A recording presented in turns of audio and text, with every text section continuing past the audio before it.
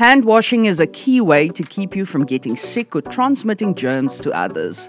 Many germs that cause disease can be reduced by washing your hands for 20 seconds with soap and clean water. So, when do you need to wash your hands?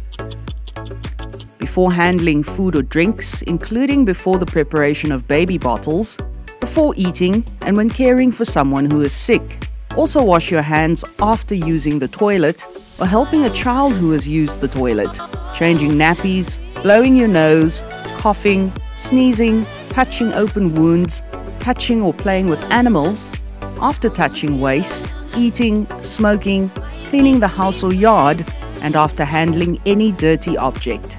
Hand washing is important, but effective hand washing is critical. Remove jewelry like rings before getting started. Wet your hands with clean running water and turn off the tap. Add soap to your palms. Rub your hands together to create a lather or bubble glove. Cover all the surfaces of the hands and fingers. Clean your knuckles, back of the hands and fingers. Clean the spaces between the thumb and index finger and work the fingertips into the palms to clean under the nails.